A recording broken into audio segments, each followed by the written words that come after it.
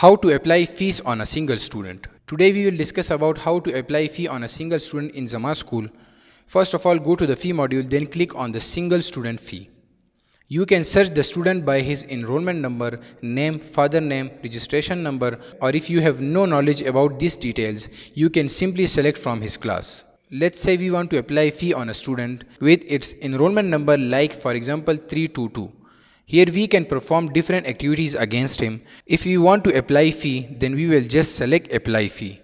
We will select due date, then apply date and month.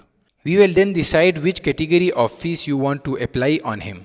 Just select the category of your choice, click on the apply fee and the fees will be applied on him.